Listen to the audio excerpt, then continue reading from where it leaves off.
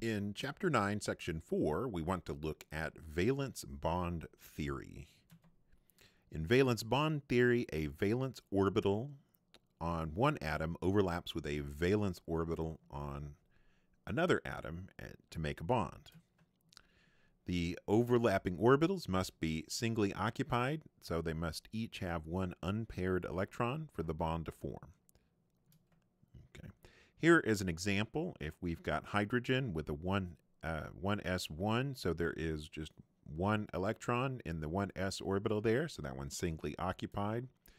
And then with chlorine, 1s2, 2s2, 2p6, 3s2, 3p5. And with that 3p5, that means, well, there's three orbitals in the p subshell. That means that one of the orbitals is singly occupied. The other two are doubly occupied, but one of them is singly occupied. Well, that one orbital that's singly occupied can overlap with the uh, with the 1s orbital on hydrogen. So uh, there's a couple of possibilities. We can have two hydrogen atoms uh, where they overlap. Again, uh, the, the orbitals have to overlap to some extent to make a bond. Here we can get overlap between the 1s orbital on hydrogen and one of that, that 3p orbital on chlorine and, uh, and overlap and get a bond there. Or we can have two chlorine atoms that and their uh, 3p orbital uh, can overlap. Their 3p orbitals can overlap. So we can we can almost always always really explain covalent bonds in terms of what orbitals are overlapping when we make the bonds. So as far as the overlap is concerned, the better the overlap, the stronger the bond is going to be. And you, want to have as much overlap as possible without getting too far because if you get too far, then the nuclei have the positive charge and they will start repelling each other.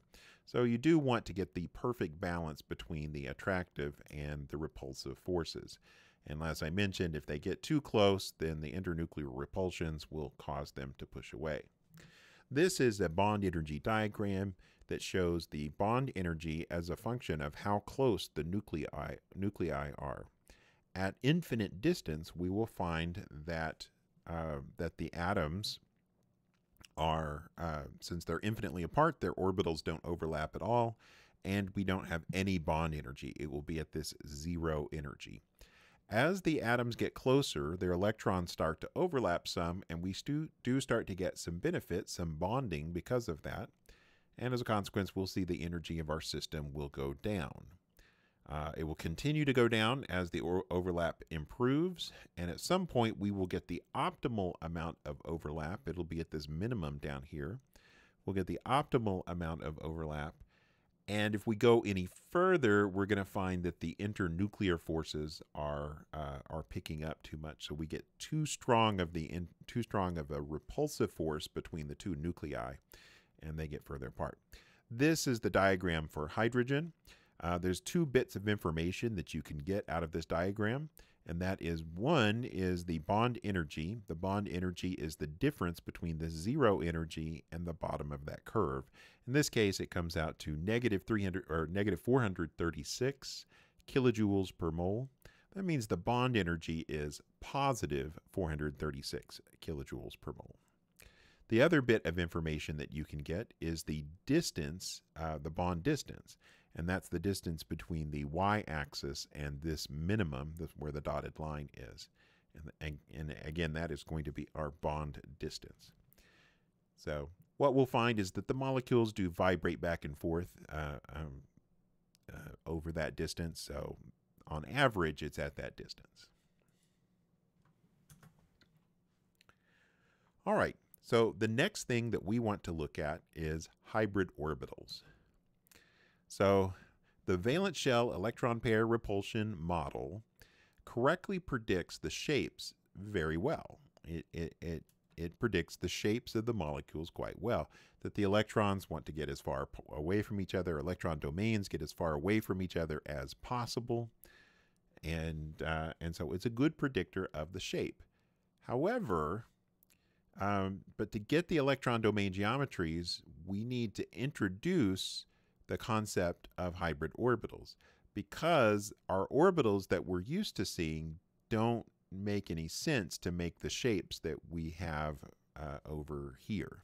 Like tetrahedral, how would we get tetrahedral from orbitals that look like this, an s orbital and some p orbitals?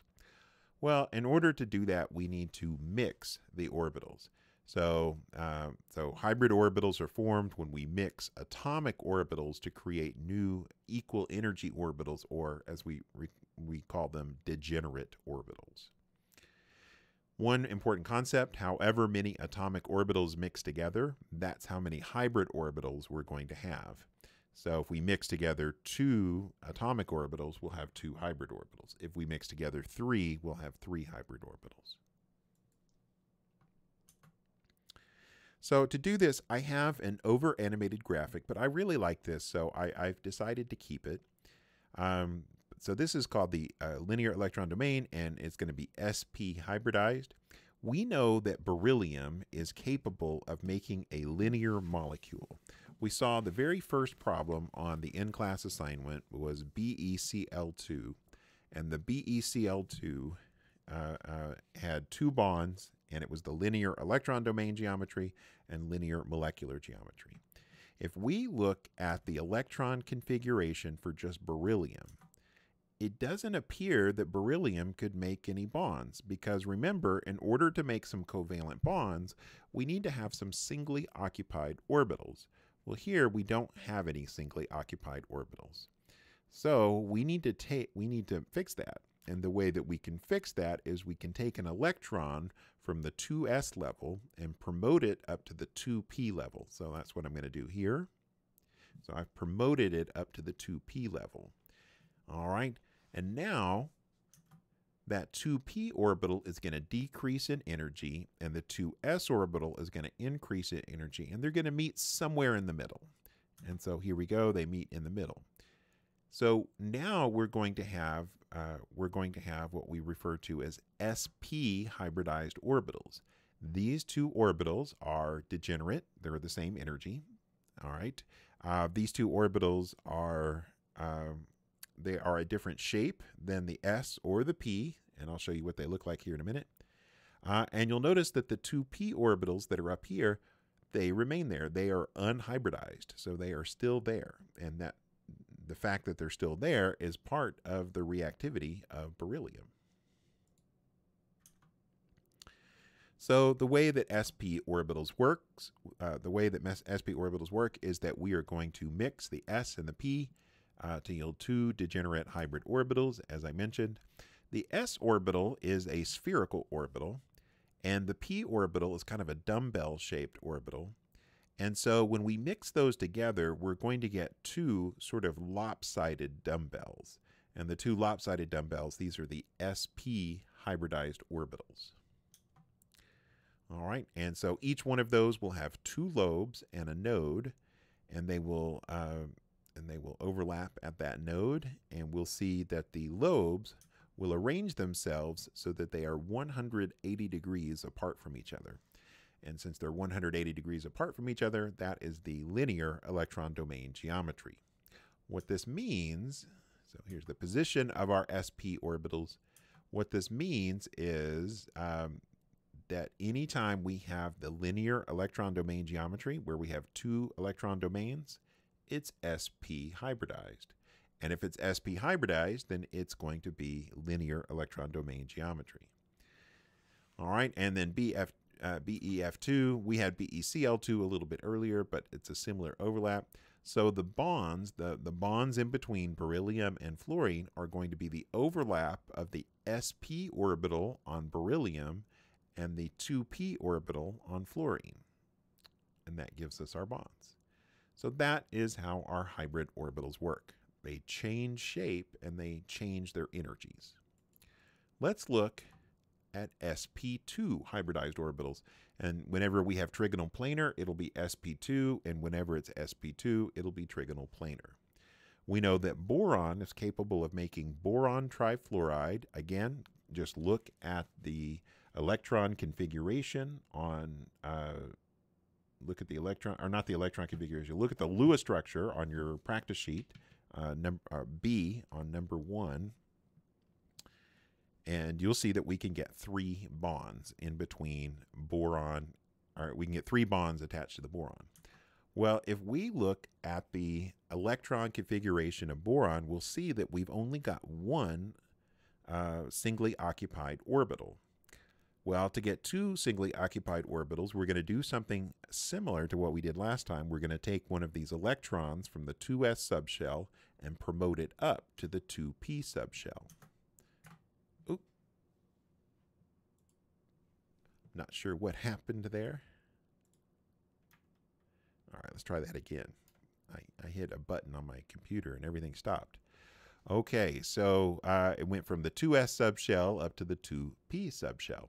Now, the, uh, the 2p subshell is going to, or these two orbitals in the 2p subshell are going to decrease in energy, and the 2s orbital is going to increase in energy until they meet. And we will get three equivalent or three degenerate orbitals that are called sp2 hybridized orbitals. The superscript indicates how many of those orbitals we shared. So uh, one is implied, so it's like S1P2. That indicates that we have three orbitals that contributed to make these three hybrid orbitals. Again, note that the 2p orbital is still there. It just happens to be empty in this case, but the 2p orbital is still there. All right, and then those are the sp2 hybridized orbitals. All right, yes, and then yes, note the 2p orbital is left unhybridized. For sp2 orbitals, again, we've got a spherical orbital and two dumbbell-shaped orbitals. When we kind of average those out, we're going to get, again, kind of like with the sp orbitals, but we're going to find it's a little bit longer and uh, not quite as uh, rounded. So it's a little bit longer and not quite as rounded. So when we mix one s orbital and the two p orbitals, we'll get the three degenerate sp2 hybridized orbitals. They will always arrange themselves in the trigonal planar electron domain geometry uh, with angles approximately equal to 120 degrees. Now, let's look at carbon. Carbon, we know, can have four uh, uh, electron domains around it. If we look at part D on number one on the in-class assignment, you'll see methane there, and there are four bonds going to carbon. So we know carbon is capable of four bonds. But if you look at the ground state electron configuration of carbon, you will see that it has two unpaired, or, or two, yes, two unpaired electrons in orbitals. So you would think, well, maybe it can only make two bonds. Well, we're going to find that uh, we can increase the number of singly occupied orbitals by taking a 2s electron and promoting it up to the 2p level. All right, just like what we did before. And now all three of the 2p orbitals are going to come down in energy and the uh, and the 2s orbital is going to go up in energy and they're going to meet in a new subshell that's called the sp3 hybridized orbitals. All right, well those sp3 hybridized orbitals now there's four of them. So there are sp3 hybridized orbitals. We will find that they will arrange themselves in a tetrahedral um, uh, configuration. So uh, when there's four, the 1s and the 3p, Again, we sort of get a lopsided, what looks like a lopsided p orbital. Uh, however, these are a little bit longer than the sp2 orbitals and a little bit less rounded. And as I mentioned, they will arrange themselves in a tetrahedral configuration. Now, I don't have cool animated graphics for the other ones, and it's probably just as well because it's complicated. Um, but we have what we refer to, usually refer to as sp3d and sp3d2. So when we have the five electron domains, all right, that's a hypervalent. When we have five electron domains, we can get what is sometimes called the sp3d hybridized orbitals. Now, uh, there are people who will argue that the sp3 hybridized orbitals can't really happen. sp3d can't really happen because the d orbitals are too far away in energy to hybridize. that's probably true. However, uh, um, however, uh, uh, we'll just ignore that because this is the name that's mostly used. And um, in any case, uh, uh, and that, that's what we're going to refer to it as SP3D. So this will give us our trigonal bipyramidal electron, electron domain geometry. And then with six domains, we call them SP3D2 hybridized orbitals. And there they are. And you'll see that that will give us our octahedral electron domain geometry. Okay, so that is hybridization. So as far as our hybrid orbital summary, all right, so our hybrid orbital summary, the number of domains not only dictates the electron domain geometry, but it also dictates the hybridization. If you know the number, two domains, it's going to be SP hybridized. If it's three, it's going to be SP2 hybridized. If it's four, it's going to be SP3 hybridized. If it's 5, it'll be SP3D. And if it is 6, it'll be SP3D2.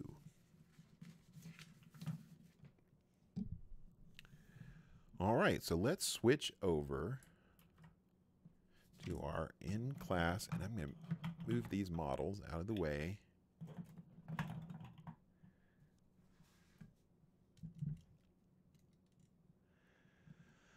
All right, so indicate the hybridization and bond angles associated with each of the following electron domain geometries. So for linear electron domain, the hybridization, as we just saw, was SP, and the bond angles are 180 degrees. For trigonal planar, it's SP2, and the bond angles are 120 degrees. For tetrahedral, it is SP 3, and the bond angles come out to 109.5 degrees. For trigonal bipyramidal, we'll call that SP3D, and that has two angles. Our bond angles there are going to be 90 degrees and 120 degrees.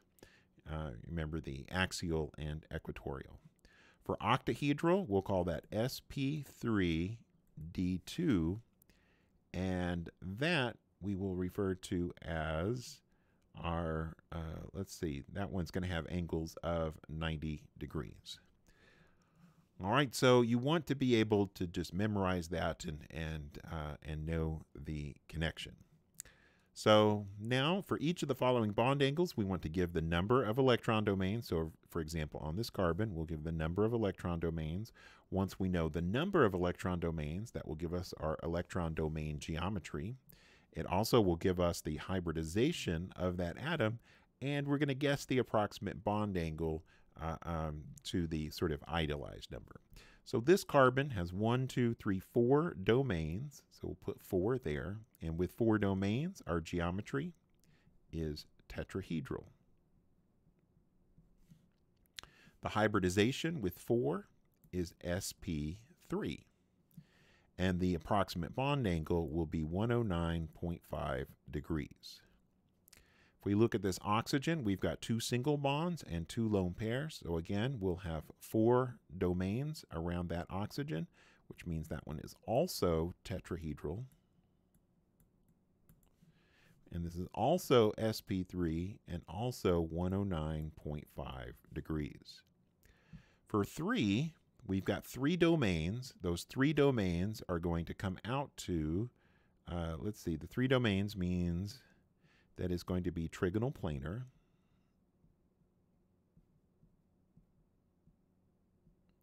The hybridization is sp2, and the approximate bond angle is 120 degrees.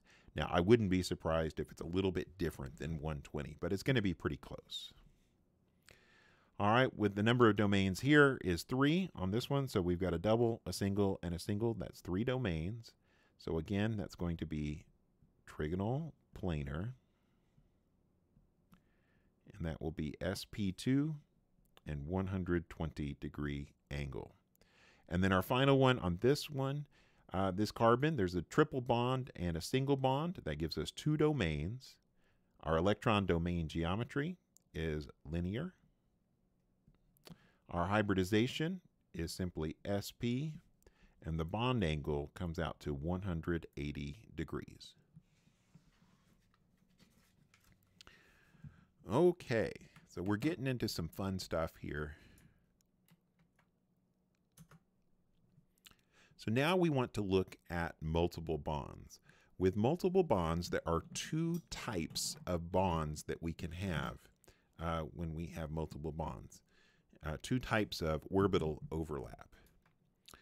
We can have what is referred to as a sigma bond and what is referred to as a pi bond. A sigma bond, and we'll use the Greek letter sigma there, is head to head overlap. That's where you get overlap directly in between the two nuclei. And the electron density is has cylindrical symmetry around the internuclear axis. So cylindrical symmetry. All right, so that will give us our uh, what is called a sigma bond. For pi bonds, so again, we'll use the Greek letter pi, uh, it has side by side overlap.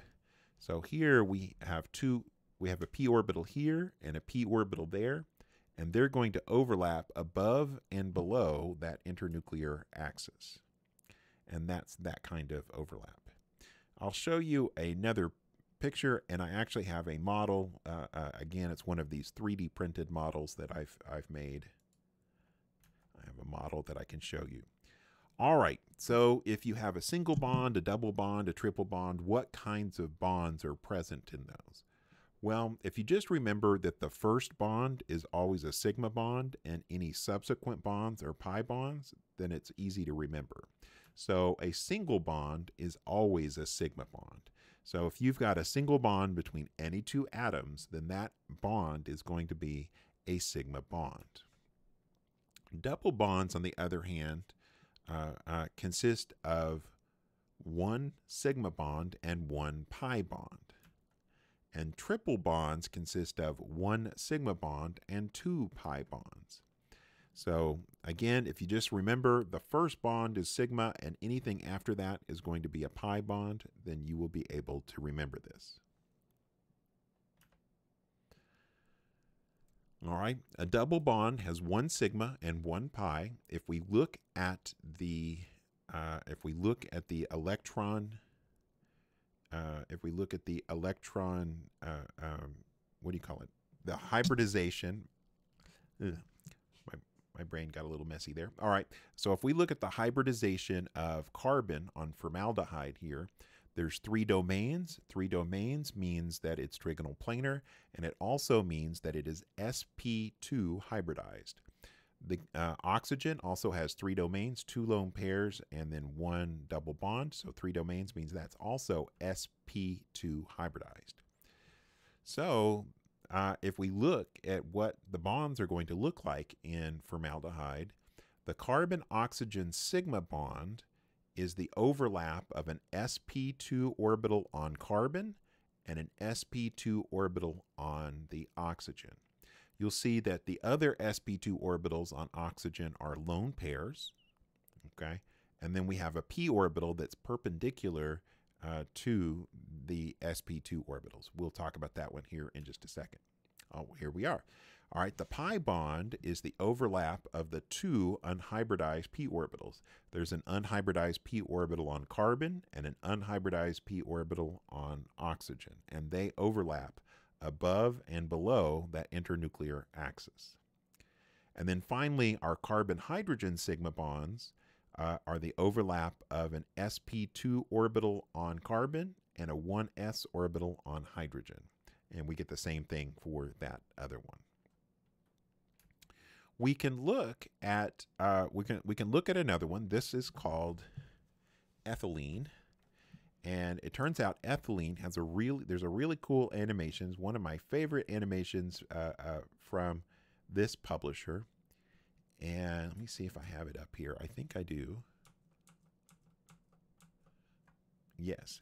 And I opened it in Internet Explorer. When I tried to open it in um, Chrome or Firefox, it gave me an error and I think it's just because it uses Flash or something really old.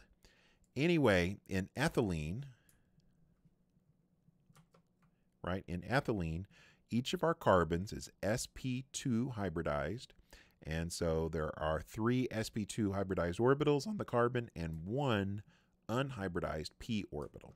So the purple ones are sp2 hybridized orbitals. You'll see that there's overlap between the sp2 on carbon and the 1s on hydrogen to make those sigma bonds. And then uh, right now, these are too far apart to bond, so I'm going to start bringing them together. And as we bring them closer together, you'll see that the sp2 orbitals start to overlap. All right, and so now we have started the sigma bond. Now there's going to be an optimal bond distance, but uh, but they, once they're close enough, we'll get a, a sigma bond. The pi bond is going to be formed by this unhybridized p orbital on this carbon and the unhybridized p orbital on this carbon. And when we bring it a little bit closer, we'll start to get overlap above and below that internuclear axis. And that is what our, uh, our, our pi bond would look like. All right, so that is what that would look like. Now, I have a molecular model of ethylene. That, again, this is one I 3D printed. Let's see. Come back over here. All right, and so our carbons are the black atoms and the hydrogens are the white ones. The, the blue in the middle, that represents the sigma bond. That's uh, the sp2 hybridized orbital on carbon overlapping with an sp2 hybridized orbital on the other carbon. And then we've got uh, p orbitals that are perpendicular to the plane of the molecule, and those p orbitals overlap above and below to give us this pi bond. And so that is uh, what the shape of ethylene sort of looks like. Uh, in reality, it's not quite this clean because orbitals are messy, right? Orbitals are, are waves, so they, they kind of spread out over distance.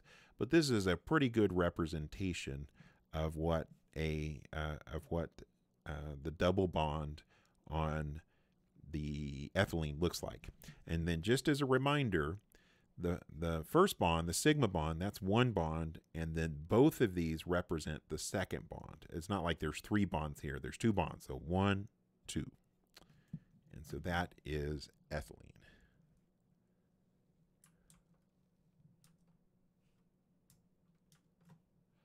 All right So we'll go back to our presentation here.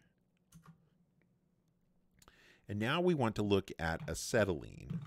For acetylene, we've got uh, a triple bond, and that triple bond is one sigma bond and two pi bonds. So in acetylene, uh, both of the carbons are sp hybridized. All right. So the the the sigma bond is going to be the overlap of the sp hybridized orbital on carbon with another sp hybridized orbital on carbon, and that will give us our sigma bond, our carbon-carbon sigma bond.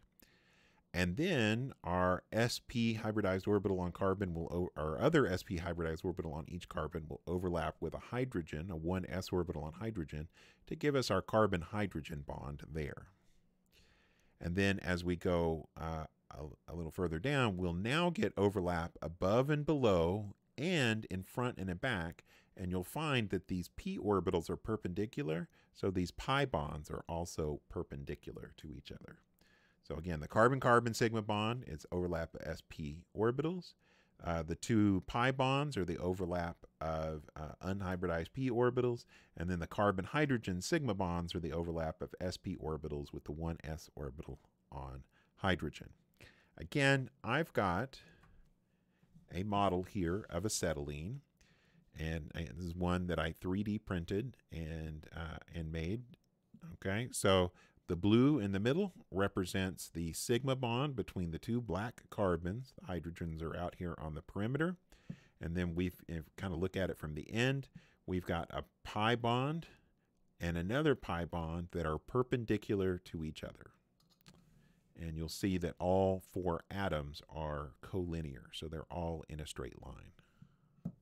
Pretty cool.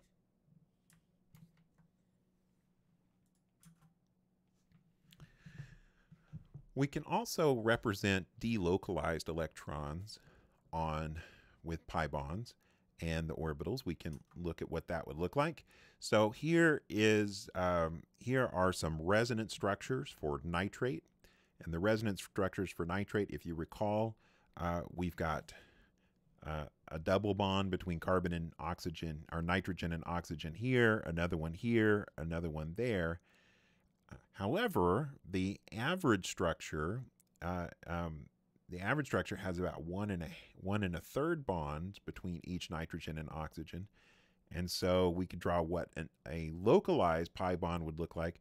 But in reality, the uh, pi bond is delocalized. So that electron density is spread out over four atoms. So that, that's kind of interesting. All right, for benzene, we get something similar that happens. Uh, benzene, if we look at the structures of benzene, we'll see that each of the carbons is sp2 hybridized. Again, if you look at each of these carbons, there's three domains around each. So that's trigonal planar, and they are all sp2 hybridized. So all six of them are sp2 hybridized. That means that the sigma bonds between each of the carbons is going to be the overlap of the sp2 orbitals on each carbon. So the sp2 orbitals on each carbon. All right, and uh, let's see, what else do we have here? Uh, uh, and then the carbon hydrogen. So there's the carbon carbon is the sp2 orbitals. The carbon hydrogen bonds are the overlap of the sp2 orbital on carbon with the 1s orbital on hydrogen. And it turns out all 12 of those atoms are coplanar. They're all in the same plane. Perpendicular to these uh, sp2 orbitals are, are uh, some unhybridized p orbitals. And those unhybridized p orbitals, um, the unhybridized p orbitals will overlap to give us pi bonds. Now, if we were just to try to represent one resonance structure, we would draw something like this. We would see orbitals that look like this. And if we did it with this one, we would see orbitals that look like this. Uh, or this one, we would see orbitals that look like this. But for our resonance structures, we would find, uh, for our resonance structures, we would find that our, I'm sorry, our hybrid structure would show that these are delocalized. So we get electron density all the way around the ring. So I've got another model. This is one that I actually made. This is kind of funny. This is one that I made as a Christmas ornament. And I gave this to my family and some of my friends who are nerds. So that's why there's a hook on there because it's a Christmas ornament. But um, you can see we've got the we've got the sigma bonds between each carbon, and then our pi bonds are represented by the overlap all the way around. So it's a delocalized pi bond. On the other side, I made it green. Uh, there's no difference between the two sides. Uh, I made it green because you know it's Christmas. So anyway, so that is what our molecular model would look like. Our our again 3D printed, made these from scratch pretty cool looking, huh?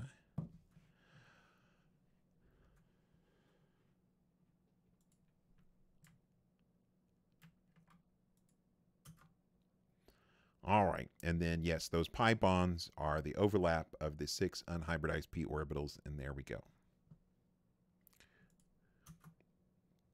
Oh yes, they're delocalized over all six carbons. All right, so now we want to look at our final topic, which is molecular orbital theory. And the key to understanding molecular orbital theory is to see it more than once. So I recommend that you watch this uh, uh, part of the video again. So watch it and then watch it again. So as we remember from chapter six, electrons act like waves. They have wave properties. And since they have wave properties, we need to think about, well, what kind of properties do waves have? Well, waves have peaks and troughs, and waves can um, they can they can interact in two different ways. They can interact constructively and they can interact destructively. So when we're looking at molecular orbitals, we're going to find that the molecular orbitals can have many of the same characteristics as atomic orbitals. So let's cover those same characteristics as the atomic atomic orbitals first. One, that there are a maximum of two electrons per orbital. That's, that's still true. Electrons in the same orbital have opposite spin, and this is just the Pauli exclusion principle applied to molecular orbitals. Degenerate or same energy orbitals must be singly occupied first before being doubly occupied. That is Hund's rule. And when we're filling the electrons in an energy diagram, we start at the bottom and work our way up. So we start with the lowest energy orbitals first and work our way up. That's simply the Aufbau principle. It applies to molecular orbitals as well. And our electron density can be visualized using contour diagrams like we have drawn for uh, some of this other stuff. There are some differences between molecular orbitals and atomic orbitals. Molecular orbitals represent the energy levels for the molecule, not just single atoms. So once you put those orbitals together, they become something different. You get molecular orbitals. Whenever two atomic orbitals overlap, two molecular orbitals are formed in its place. You get one bonding molecular orbital and one anti-bonding molecular orbital. So, uh, so there's sort of a conservation of orbitals. However many orbitals you put in, however many atomic orbitals you put in, that's how many molecular orbitals you're going to get out. The bonding orbitals are constructive combinations of atomic orbitals. As you recall, uh, uh, if you have two waves, they can overlap constructively where the peaks line up. And you can also get destructive interference. And uh, when you get destructive interference where your peak and your trough line up, then that is uh, then that is uh, anti, we're going to call that an anti-bonding orbital. So to the extent that you have electrons in bonding orbitals, you get bonds. To the extent that you have electrons in anti-bonding orbitals, it cancels out the bonds that you got from the bonding orbitals. So we want to look at, uh, so hydrogen, uh, uh, I didn't mean hydrogen bonding, I meant hydrogen bonding and anti-bonding molecular orbitals. I, anyway. All right, so we have bonding and anti-bonding molecular orbitals for hydrogen. If we get overlap directly between orbitals, a bonding molecular orbital, so if this is for hydrogen, so hydrogen has one s orbitals, and we get overlap directly in between those 1s orbitals. Well, there's two kinds of overlap we can get. We can get bonding uh, uh, constructive interference and we can get destructive interference. All right, so when we create, when we take those two atomic orbitals, it will form two molecular orbitals. The molecular orbital is going to be lower, the, the bonding molecular orbital is going to be lower in energy than the atomic orbitals, and the anti-bonding molecular orbital will be higher in energy we're going to call that bonding molecular orbital a sigma 1s. The sigma means that it's a sigma bond, and the 1s means it's the type of orbital that we use to make that bond. The anti-bonding orbital we're going to call a sigma star. We use the special designation of star to indicate anti-bonding, help us keep track of which ones are bonding and which ones are anti-bonding. So these are called sigma molecular orbitals, again, sigma bonds. And as I mentioned, uh, the uh, anti-bonding MO is denoted with an asterisk to make it clear it is anti-bonding. So this is an MO diagram for hydrogen. The way that MO diagrams work is that on the outside we will put, so on the outside here where the yellow ones are, we will put the atomic orbitals. On the inside, we will put the molecular orbitals. So the atomic orbitals come together to make these molecular orbitals. For every two orbitals we put in, we're going to get one bonding molecular orbital and one anti-bonding molecular orbital. All right, so here is, this one's for hydrogen, our MO diagram for hydrogen. And uh, the 1s orbitals that combine together to make these two molecular orbitals, the sigma 1s and the sigma star 1s. All right, the two electrons on the side, yeah, those are the atomic orbitals, and they combine together to make our molecular orbitals and fill the lower energy uh, ones first, so we have to fill this one first before we can fill that. That's thanks to the Aufbau principle. If we do excite one of those electrons up there, we call that an excited state. This is the ground state. We can calculate something that we call bond order. And this bond order is the same number that you would get if you had like single, double, triple bonds. So uh, it is the bond order. The bond order we will find is equal to half the difference between the number of bonding orbital electrons and the number of anti-bonding orbital electrons. And so if we just use that simple equation, oh yeah, so we'll take those that difference, divide by 2, and that will give us our bond order. In the case of hydrogen, our bond order is going to come out to there's two electrons down here in the bonding molecular orbitals, and there's none up in the antibonding, so 2 minus 0 divided by 2, and that gives us 1. So this would indicate molecular orbital theory would predict a single bond for H2. Now, that you should not take that as evidence that it is uh, a perfect theory. Uh, uh, and in fact, um, if it predicts hydrogen, that seems like that should be a minimum, right? All right, let's look at another thing real quick. We're going to look at the bond order for a hypothetical molecule that's that's just helium with two two helium atoms that come together. So here are our helium atoms. We've got two electrons in this helium, uh, 1s subshell, two electrons here. We end up with four electrons in uh, uh, uh, two orbitals, a bonding molecular orbital, anti-bonding, and we have four electrons in those orbitals. All right, so there is our hypothetical molecule of He2 our bond order is going to be equal to two bonding orbital electrons minus two antibonding orbital electrons.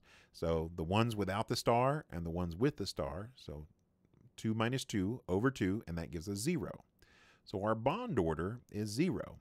And that means that MO theory would predict that He2 is does not exist. Now, again, I wouldn't take that as uh, as evidence that this uh, theory works perfectly, uh, we need some more compelling evidence. But the important thing here uh, is that the bond order it gives us a mathematical way to describe the statement I made earlier. And the statement I made earlier is that when we put electrons in bonding molecular orbitals, we create bonds. When we put electrons in anti-bonding orbitals, they cancel out those bonds. So to the extent that there are electrons in anti-bonding molecular orbitals, they cancel out the lower energy that we got because of bond of occupying the bonding molecular orbitals. So anti-bonding orbitals, uh, um, they sort of destroy our bonding. So that's important to remember. All right, so here we're going to, uh, in this section, we're going to get to more complicated uh, molecular orbital diagrams, and we want to look at sort of our guiding principles. Some of these we've already seen, uh, uh, they should make sense. So the number of molecular orbitals formed equals the number of atomic orbitals combined.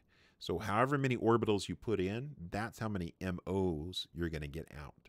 It's sort of like a conservation of orbitals. Atomic orbitals combine with other atomic orbitals of similar energy.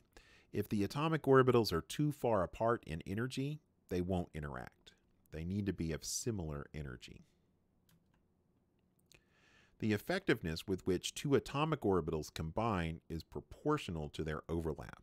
So the better the overlap, then uh, um, the better the bonding, right? So, so the better the overlap, the better the bonding. Also, the better the overlap, the better the anti-bonding. So, uh, uh, so that's definitely a consideration as well. All right. In the ground state, electrons occupy the lowest energy molecular orbitals first before occupying the higher energy orbitals. So the Aufbau principle applies to molecular orbitals. Each molecular orbital can accommodate at most two electrons and they have to have opposite spin. Well, that's just a statement of the Pauli exclusion principle. Pauli exclusion principle says you can't have two electrons in the same orbital with the same spin. And then finally, Uh, when M uh, when MOs of equal energy are populated, they are singly occupied first with the same spin before being doubly occupied, and this is a statement of Hund's rule. All right, so keeping those things in mind, we want to uh, look at some more complicated molecular orbital diagrams. First, let's talk about core electrons. So we're going to talk about lithium, uh, dilithium, which, you know, who knew that that exists? But it just so happens that if you have lithium in the gas phase, you can get the Li2 molecules. Those Li2 molecules are the overlap of of some orbitals to make us some sigma bonds. The Lewis structure for this lithium is just a single bond in between the two lithium atoms. All right, well, here is the molecular orbital diagram. You'll notice from the molecular orbital diagram, we've got the 1s orbital down here, and then it goes up and down for our sigma and sigma star, and there's our other 1s. And then those are completely filled. And then our two s orbitals are higher in energy, and then they interact to give us a sigma and a sigma star. And so we get electrons in the sigma, but not so much in the sigma star. Well, notice that um, in the MO diagram, that those core electrons, the level one electrons, they don't really make much of a difference. As long as our, as long as those are full outer shells down there, when they when we start combining these, we're going to end up with a, a bond order of zero thanks to the level one.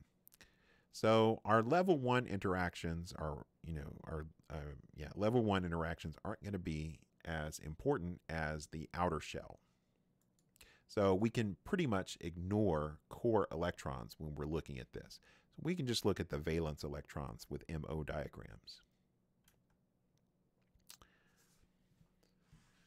All right, so the molecular orbitals uh, for p orbital overlap.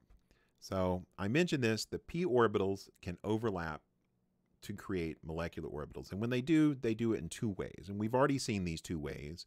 The two ways are head-to-head overlap and side-by-side overlap. When we get head-to-head overlap, we'll get sigma bonds. When we get side-by-side overlap, we'll get pi bonds. And remember, we only see pi bonds in situations where we have multiple bonds. All right, so here, um, here are the here are what the orbitals look like. Now, this looks really confusing, but it's not really that bad.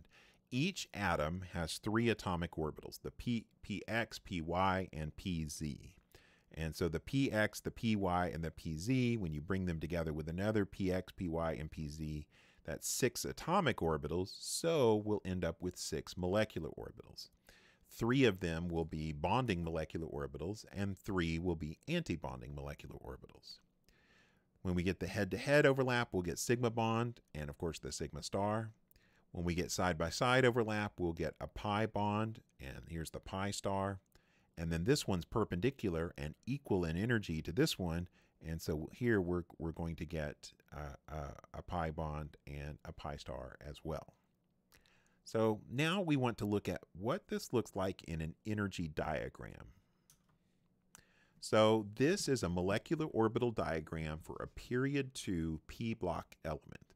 Now, not all p block period 2 p block elements are going to look exactly like this, and I'll explain that here in a moment. But uh, but we have uh, uh, each each atom has a 2s orbital and three 2p orbitals. And so it, each one is contributing four valence orbitals. So four valence orbitals plus four valence orbitals, uh, that means that we're going to have eight molecular orbitals. So we'll get eight total molecular orbitals. Four will be bonding and four will be antibonding. Just as a reminder, the ones that are bonding don't have a star, and the ones that are antibonding do have a star. So we'll have a sigma, a sigma star, a sigma, two of the pi, pi two pi stars, and a sigma star. All right, the 2s interactions are lower in energy than the 2p, so here uh, uh, these usually get filled up pretty quickly. and we'll get the sigma and the sigma star. The head to head sigma interactions are stronger. And so the, uh, the bonding molecular orbitals are lower in energy uh, than the, and the antibonding orbitals are actually higher in energy. So again, the head to head overlap, that's this one. That's where the, uh, the PZ orbitals overlap. So this is stronger than the pi bond. And so it goes lower in energy, but to the extent that this one goes down in energy, this one has to go up in energy. And so that's why they are in that particular order. Now, there's also something interesting that happens when uh, when we're on the left side of period two p block, and that's going to include boron, carbon, and nitrogen. Since those atoms, even though they have smaller numbers, those atoms have bigger uh, um, they have bigger radii. And the reason they have bigger radii is because their effective nuclear charge is smaller. And I don't, have we talked, yeah, we talked about effective nuclear charge. So their effective nuclear charge is smaller, so they have bigger radii. Well, when that happens, your 2s orbital interacts better with the, the pz orbital, the 2p orbital on the other atom. And when you get that extra interaction, it changes the energies of our molecular orbitals. So instead of getting the normal order, which was sigma, sigma star, sigma, pi, pi star, and sigma star, instead of getting that normal order, you will get uh, sigma, sigma star, and then you'll get the two pi's, and then the sig, and then the pi, uh, sigma, and then you'll get the normal pi star and sigma star. I mentioned that uh, it causes the energy of this sigma bond to go up and the energy of this sigma, sigma bond to go down. So that's what this is saying. It raises the energy of the sigma 2p and lowers the energy of the sigma 2s. All right, and the px and the py orbitals remain unchanged, so our pi bonds don't change as a consequence. All right, so this is a lot of information on one page, but this is looking at each of the diatomics as you move across the periodic table. So uh, three of these are real, and two of them are things that you wouldn't normally see, you wouldn't normally observe. So boron, so B2, this is not something you typically are going to run into, but uh, you could form uh, uh, bonds. And when you do, you will end up getting, and again, these two are flipped, so you will end up getting uh, uh, two singly occupied orbitals when you do the bond order, which is the number of electrons in bonding molecular orbitals. So 4 minus 2 divided by 2, that's going to give us a bond order of 1. You'll see the bond enthalpy is uh, 290 and the bond length 1.59. On this one, you'll get uh, 6 minus 2 divided by 2. That'll give us a a bond order of 2, you'll see the bond enthalpy is larger and the bond length is shorter. Similarly with the nitrogen, we'll now have 8 minus 2. 8 minus 2 is 6, divided by 2 is 3, so we get a triple bond, and, uh, and our bond enthalpy is larger, and our bond length is shorter. All right, with oxygen, uh, now we're getting more electrons. We're going into the antibonding orbitals up here and we're going to get a uh, bond order of 2. So it'll be 8 minus 4 divided by 2. That'll give us uh, 2. And then that our bond energy is less than our triple bond. And uh, you'll see our bond length is longer. So multiple bonds tend to be shorter and stronger than single bonds. And then here for fluorine, we'll get 8 minus 6 divided by 2. That'll give us a single bond. Uh, bond uh, enthalpy 155. That's pretty weak. And our bond length 1.43 that's pretty long. And then of course uh, ne2 we don't get that. Now i haven't talked about what i mean by paramagnetic and diamagnetic. I'm going to save that for the next page here.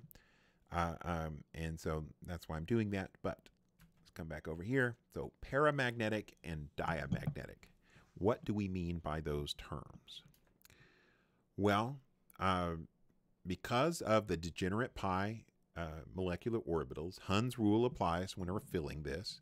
and as a consequence, we have singly occupied orbitals here. And so, um, so we have unpaired electrons.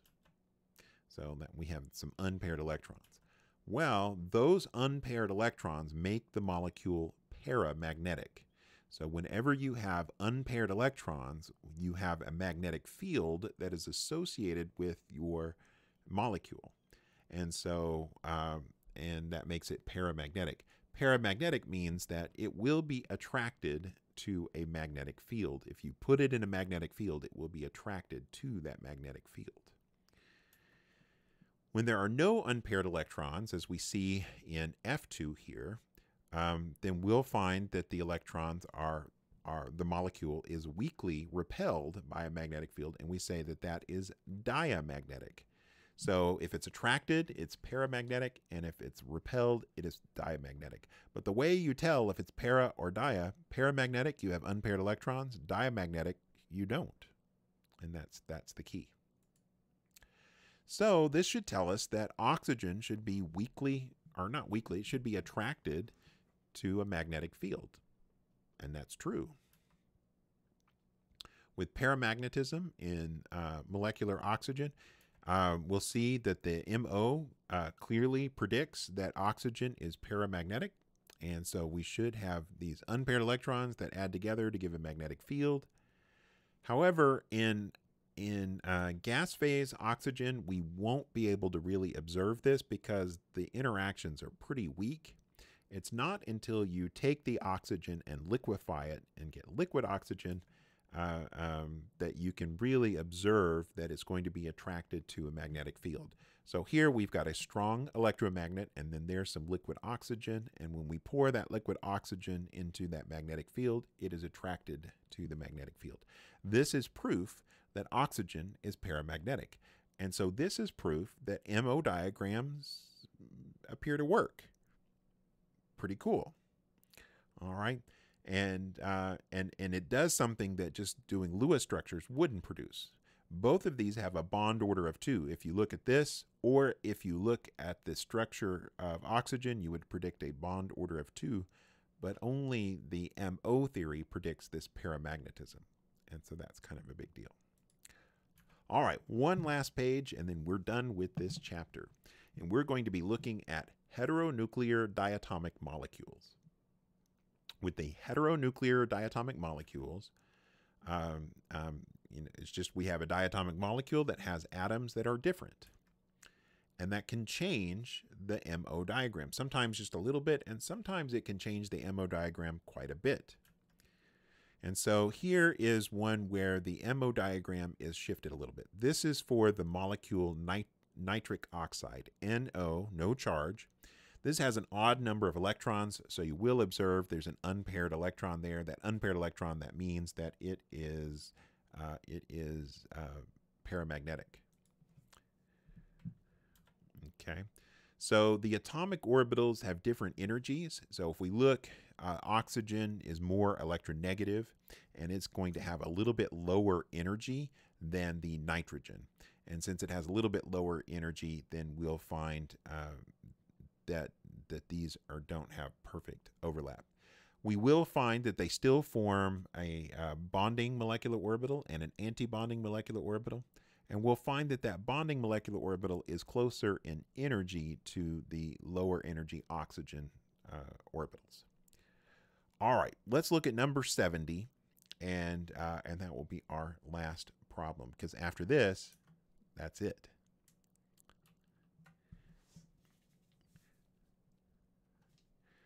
Okay, so using the energy energy level diagrams, these are MO diagrams.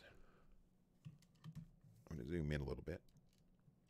So using these MO diagrams um, for homonuclear shown below, we're going to predict the following heteronuclear diatomic ions.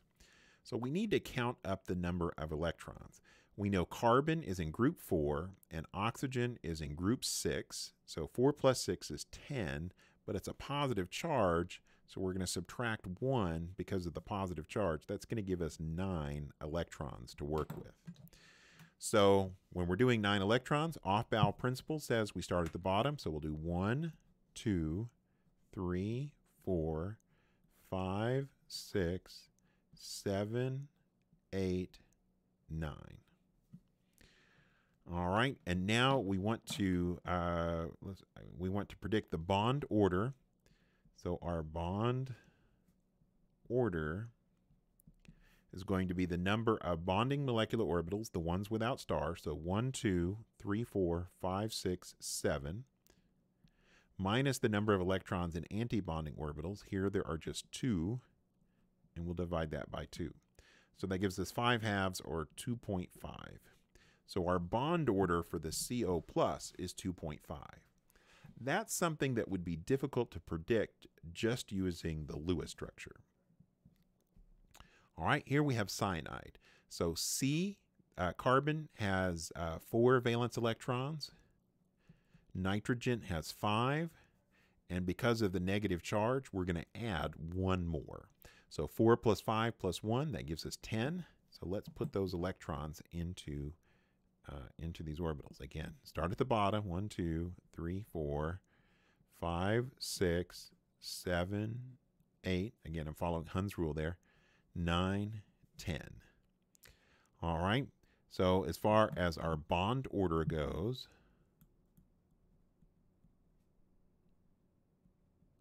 our bond order, uh, uh, we'll count the electrons in bonding. So 1, 2, 3, 4, 5, 6, 7, 8. So 8 minus these 2 that are in antibonding over 2. So that's 6 over 2. That's equal to 3.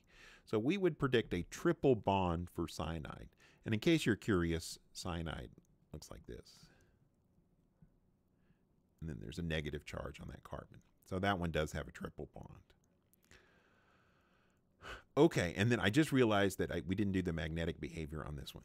So this one has an unpaired electron, so this one would be paramagnetic. And then this one has no unpaired electrons, so this one would be dia. I'll try that again. Diamagnetic. All right, so here we've got NO plus. Let's count up the electrons. Nitrogen has five, oxygen has six, so five plus six valence electrons, and then we have a negative charge, so we're going to add one more. That gives us 12 valence electrons to work with. So we'll start down here. One, two, three, four, five, six, seven, eight, 9, 10, 11, 12. All right. Now, is this paramagnetic or diamagnetic? Well, because of the unpaired electrons there, we're going to call that one paramagnetic. And now let's do our bond order.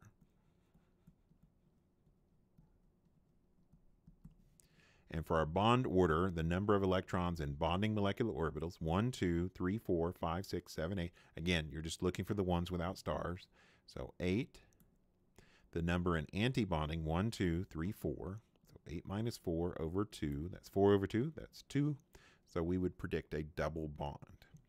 And so here for NO minus, if we look at what we get when we did the Lewis structure, All right, so there is our Lewis structure, and here we have a negative charge on the nitrogen. Uh, it predicts a double bond. Uh, so we have a bond order two predicts a double bond. So Lewis structures do pretty good here in predicting that double bond, but the Lewis structure would not predict this dia, um, this paramagnetism. So that is an advantage of MO theory. All right, oxygen has six, uh, chlorine has seven, and then we'll get one more because of the negative charge. So 6 plus 7 plus 1 gives us 14. And now let's start putting the electrons in. 3, 4, 5, 6, 7, 8, 9, 10. I almost went out of order there. So uh, that's 10, 11, 12, 13, 14. All right, and let's go ahead and predict the magnetic behavior. Since there's no unpaired electrons, we're going to call this diamagnetic. Okay, And now to predict the bond order.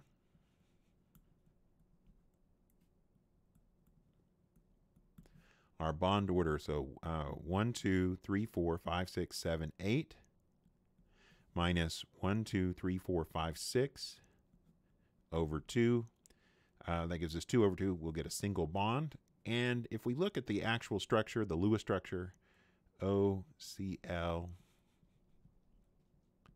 it has a single bond as well. That's the hypochlorite ion. All right, well, that is the end of chapter 9. That also means this is the end of, uh, of all the lectures for Chemistry 1411. So I hope you enjoyed the lectures.